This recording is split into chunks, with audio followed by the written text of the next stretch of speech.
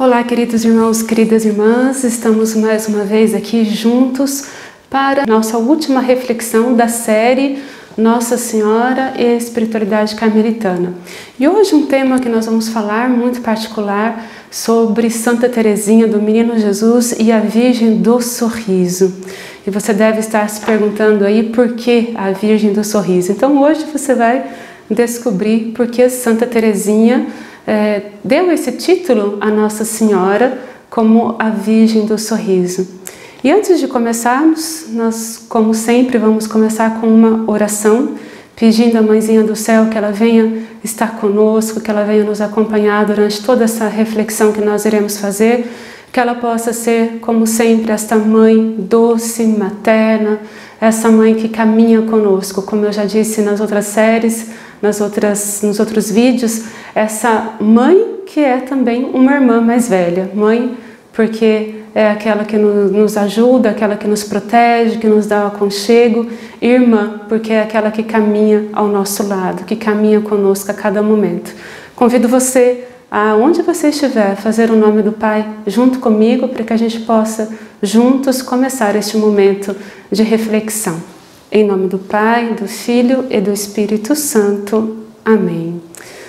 Mãezinha do céu, mãezinha querida, nós pedimos a tua bênção, pedimos a tua proteção neste momento, pedimos a tua proteção sobre todos os nossos familiares, sobre todos aqueles que nós amamos, sobre nós mesmos. Te pedimos, mãezinha, vem com a tua presença maternal interceder por cada um de nós, que o nosso coração possa estar aberto a essa reflexão, que nós possamos acolher a palavra de Deus em nosso coração, acolher esse ensinamento que Deus tem para nos dar hoje através de ti, mãezinha. Amém. Nós vamos começar, né? fizemos essa nossa primeira oração, mas eu gostaria de começar ainda com uma outra oração, né, que é a oração de fato da Virgem do Sorriso.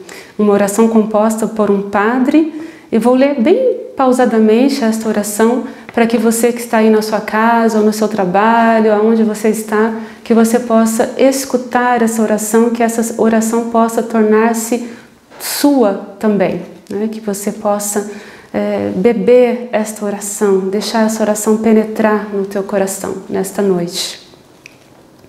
Oração a Nossa Senhora do Sorriso. Ó Maria, Mãe de Jesus e nossa, que com claro sorriso vos dignastes consolar e curar vossa filha, Santa Teresinha do Menino Jesus, da depressão devolvendo-lhe a alegria de viver e o sentido da sua existência em Cristo ressuscitado.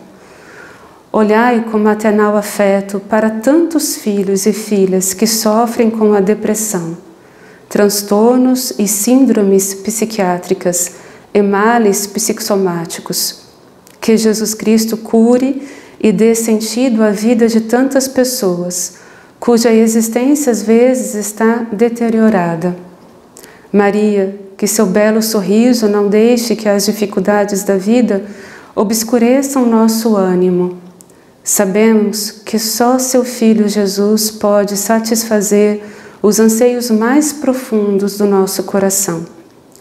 Maria, mediante a luz que brota de seu rosto, transparece a misericórdia de Deus. Que seu olhar nos acaricie e nos convença que Deus nos ama e nunca nos abandona e a sua ternura renove em nós a autoestima, a confiança nas próprias capacidades, o interesse pelo futuro e o desejo de viver feliz. Que os familiares dos que sofrem com a depressão ajudem no processo de cura, nunca os considerando façantes da enfermidade com interesses de comodidade, mas os valorizem, escutem, compreendam e os animem Virgem do sorriso, alcança-nos de Jesus a verdadeira cura e livra-nos de alívios temporários e ilusórios. Curados, comprometemos-nos a servir com alegria, disposição e entusiasmo Jesus como discípulos missionários, com nosso testemunho de vida renovada. Amém. Talvez essa oração, querido irmã, querida irmã, seja para você, que talvez esteja passando por dificuldades psicológicas, por algum transtorno, por alguma ansiedade muito grande, ou talvez você conheça pessoas que passam por esses momentos difíceis, que você possa, durante esta meditação que nós iremos fazer de Nossa Senhora do Sorriso, que você possa ter muito no seu coração essas pessoas que você conhece e que precisam da tua oração. E se essa pessoa for você mesma, né, ou você mesmo, que você se coloque também no coração de Nossa Senhora, lembrando que ela intercede por cada um de nós, que ela é mãe, irmã, companheira, amiga, aquela que está conosco que nos leva até Jesus. E por que que, né, no início da oração se diz que Nossa Senhora, né, a Virgem do Sorriso, Nossa Senhora, com o seu sorriso, curou Santa Teresinha do Menino Jesus. Santa Teresinha, na sua infância, era uma menina muito sensível, uma menina que chorava por qualquer situação, né? uma criança de uma sensibilidade extrema, pois desde pequenininha ela sofreu já a separação com a sua mãe, com o seu pai, porque ela teve que ser alimentada, ela teve que né, receber o leite de uma outra mulher e por isso ficou um, bom tempo afastada dos seus pais. E esse já foi um, um dos primeiros, né, primeiros sofrimentos de Santa Teresinha. E quando Teresinha tinha apenas quatro anos de idade, ela perde a sua mãe biológica. E isso foi um drama na vida de Santa Teresinha. Num outro vídeo eu disse que Santa Teresa de Jesus, a grande Santa Teresa, perdeu a sua mãe aos 12 anos de idade e Santa Teresinha perde a sua mãe aos 4 anos de idade. Um sofrimento para uma criança muito grande, vocês podem imaginar.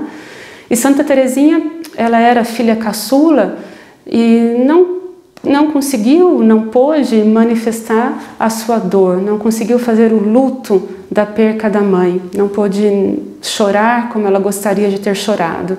E com a morte da sua mãe, ela foi crescendo cada vez mais sensível, né? foi crescendo com uma sensibilidade cada vez mais aguda e sempre chorando, sempre hum, uma criança né, realmente muito sensível como se o seu caráter fosse mudando, né, o seu temperamento fosse mudando é, devido aos sofrimentos que ela ia enfrentando durante a sua vida, ainda como criança.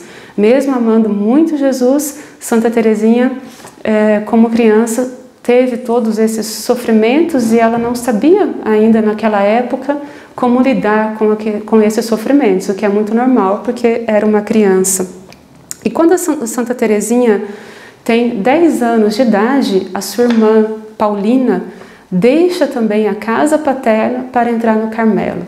E é muito interessante que com a morte da sua mãe, né, com a morte da mãe de Terezinha, Terezinha ela se afeiçoa de tal forma a sua irmã Paulina que Paulina se torna como uma segunda mãe para Santa Terezinha. E vocês podem imaginar, né? A mãe falece aos quatro anos de idade, Paulina, quando a Terezinha tem 10 anos, entra no Carmelo, entra no convento. Terezinha naquela época não entendia muito bem essa separação, essa entrada da irmã no convento. E Terezinha vai passar as férias na casa de um tio, e esse tio começa a falar de algumas lembranças em relação à mãe de, de Terezinha. E aquelas lembranças, mais a separação da irmã, que foi para o Carmelo, começa a mexer muito no coração de Santa de Terezinha. Terezinha é, começa a lembrar da mãe e cai numa doença misteriosa, né? fica misteriosamente doente, começa a ter vários delírios e isso durante semanas, uma angústia profunda, uma dor profunda é, que ela não consegue mais controlar. Ela mesma dizia que não sabia se ela iria morrer ou se ela iria ficar louca. É tão forte que era realmente é, essas sensações que, que ela tinha a nível psicológico, a nível psiquiátrico. E naquela época, como nós sabemos, nós não tínhamos muitos recursos da medicina, né, como nós temos hoje. Então, os médicos também não conseguiam dar um alívio ao sofrimento de Santa Teresinha. E na família Martin, né, na família da, de Santa Teresinha do Menino Jesus, existia uma devoção muito grande a Nossa Senhora das Vitórias, né? justamente porque é, Nossa Senhora das Vitórias acompanhou né, toda a vida de Santa Teresinha, toda a família de Santa Teresinha, é, porque ela, eles ganharam uma estátua de Nossa Senhora das Vitórias e começaram a ter devoção então por esta imagem de, de Nossa Senhora das Vitórias. E quando Teresinha estava muito doente, essa imagem foi colocada perto de Santa Teresinha e um dia, como eu vou ler aqui para vocês, Santa Teresinha conta, né, mais tarde na, na sua biografia, ela conta que ela teve uma experiência com Nossa Senhora das Vitórias. E isso aconteceu exatamente num dia de Pentecostes. Então eu vou ler para vocês né, aquilo que Teresinha escreve para nós.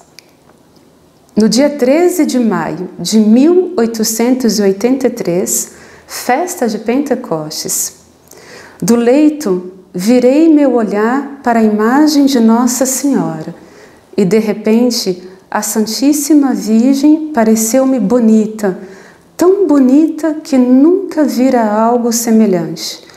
Seu rosto exalava uma bondade e uma ternura inefáveis.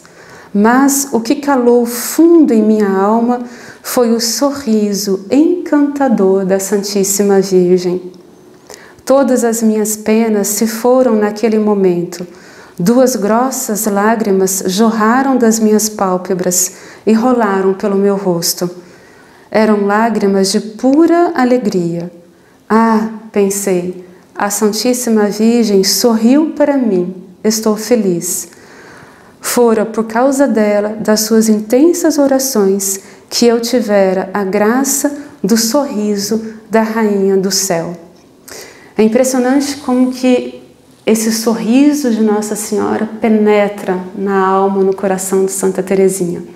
Né? Nossa Senhora que vem de fato em auxílio de Santa Teresinha, né? como ela diz aqui, um sorriso encantador da Santíssima Virgem, uma experiência muito bela, muito profunda, que faz com que Santa Teresinha saia daquela agonia emocional e psicológica que ela vivia naquele momento.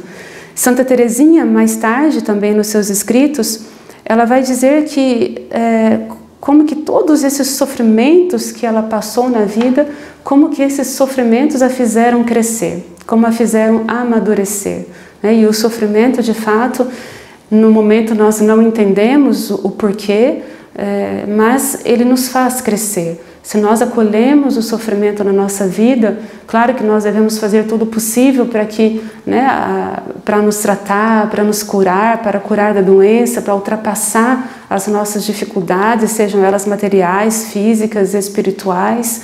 Mas o sofrimento em geral, ele nos ajuda a crescer. O sofrimento nos torna mais humanos, mais sensíveis à realidade do outro. Então, hoje nós podemos né, tomar Santa Teresinha como o nosso modelo, um, um, modelo de relação filial com a mãezinha do céu. Né, esse modelo de, de filha né, que tem essa relação profunda com a sua mãe e que um simples sorriso, claro que vindo de Nossa Senhora não é um simples sorriso, né, não é mesmo? Mas esse sorriso encantador da Virgem que veio curar, que veio dar essa graça a Santa Teresinha, que nós possamos também fazer essa experiência no nosso coração, na nossa alma, possamos fazer a mesma experiência de Santa Teresinha, deixar a Virgem do sorriso sorrir para nós. Por isso que Teresinha dá esse nome a Nossa Senhora das Vitórias, né? a imagem que ela, a estátua que ela tinha ao seu lado era Nossa Senhora das Vitórias, mas ela dá esse título depois, mais tarde, da Virgem do Sorriso, justamente porque é, a Virgem sorriu para Santa Teresinha e deu a graça da cura. Então hoje convido você, né, através do teu sofrimento, através daquilo que você vive, através das suas alegrias, que você possa tomar também no teu coração essa Virgem do Sorriso. Convido você comigo a fechar os seus olhos e trazer mais uma vez à sua mente todas aquelas pessoas que pedem as tuas orações. Traz na tua vida, na tua mente, neste momento, talvez os teus filhos, as tuas filhas, o teu marido, a tua esposa, teus irmãos, irmãs, todos aqueles que você ama e que você sabe que precisa neste momento do sorriso da Virgem. Peça com fé a Nossa Senhora, Mãezinha, nós te pedimos com toda a fé do nosso coração. Vá até essas pessoas que nós amamos. Dai, Mãezinha, o teu sorriso, o teu aconchego.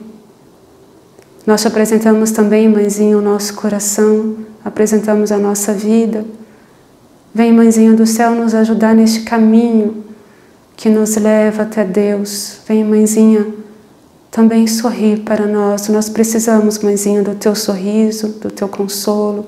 Precisamos da tua presença, da tua presença materna, doce, fraterna. Te pedimos, Mãezinha, por cada um de nós, que Nossa Senhora possa de fato estar com você, estar com tua família e assim nós finalizamos essa série, Nossa Senhora e a Espiritualidade Carmelitana, mas não vamos parar por aí não. Nós vamos ter uma outra série, não sobre Nossa Senhora, mas teremos uma série, uma carta de Deus para você. Né? Será também todas as terças-feiras, às 19 horas, mas se você não pode assistir às 19 horas, você pode assistir o momento que você quiser, o momento que for melhor para você. E continue ligado, né? continue conectado ao nosso canal Carmelitas Mensageiros, canal Irmã Paula. Agradeço pela tua, pela tua presença através dos nossos meios de comunicação e que Deus possa realmente te abençoar, que Nossa Senhora possa te proteger. E te convido a finalizar este momento rezando comigo uma Ave Maria por todos aqueles que você ama, aqueles que te acompanham, que você acompanha através da sua oração e também por nós mesmos. Confiemos-nos a Nossa Senhora. Ave Maria, cheia de graça, o Senhor é convosco. Bendita sois vós entre as mulheres, e bendito é o fruto do vosso ventre, Jesus. Santa Maria, Mãe de Deus, rogai por nós, pecadores agora e na hora de nossa morte. Amém. Em nome do Pai, do Filho e do Espírito Santo. Amém.